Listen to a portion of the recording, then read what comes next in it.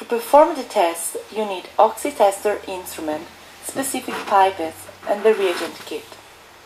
Open the aluminum envelope using a cutter or the scissors. Take one test tube and put it into the incubation cell to warm it up. The test tube has to be kept in the cell for 3-5 minutes in order to let the reagent reach 37 Celsius degrees. Press number 1 on the keyboard to select the right well. Press enter to select acidity test on extra virgin oil.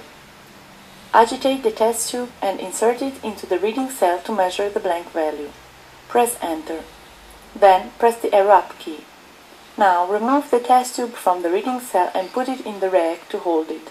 Open it paying attention to let the cap with the internal part facing up without touching it with your hand. Take the sample of oil with the specific pipette provided for this test. Insert the tip of the pipette into the oil, press down and then release the piston. Using a strip of absorbent paper, remove completely the oil from the tip. Repeat again the procedure. Then take the sample for the third time. Now do not press the piston, but simply clean carefully the tip of the pipette with the paper. Do this operation keeping the pipette horizontal. Verify that all the oil that was outside the tip has been removed. Immerse the tip of the pipette into the test tube, press the piston 3-4 times and lift the pipette with the piston press not to remove part of the liquid with the tip.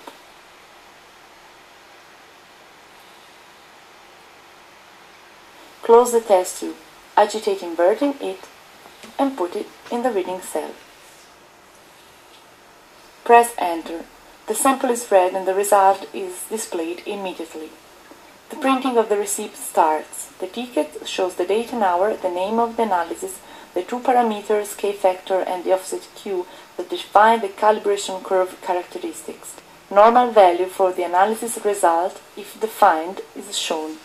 The code number of the sample is shown on the left, the unit of measure and the result on the right. Press Enter. In case another print is needed, press the arrow up key. Press the arrow down key to exit the analysis and press the key 0 to go back to the main screen.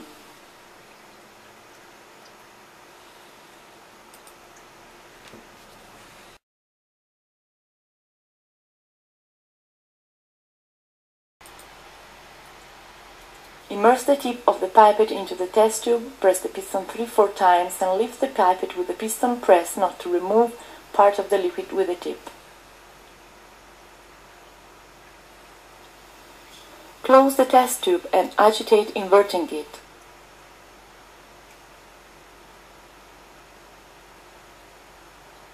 Open it again.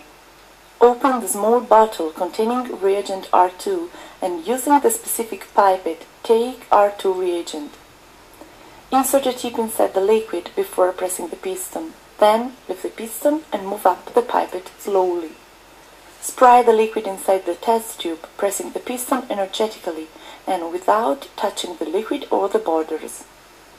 Remember that to avoid the contamination of the R2 reagent, you should change the yellow tip if you're not sure that the tip is completely clean. Close the tube and agitate carefully. Put it into the incubation cell. Press enter. The incubation starts. Once the countdown is finished, an acoustic signal will alert you. Agitate accurately the sample and put it in the reading cell. Press enter.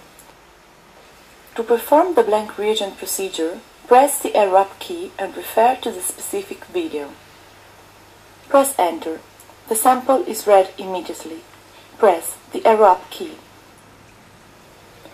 The result is shown on the display and the printing of the receipt starts. The ticket shows the date and hour, the name of the analysis, the two parameters K factor and the offset Q that define the calibration curve characteristics. Normal value for the analysis result, if defined, is shown.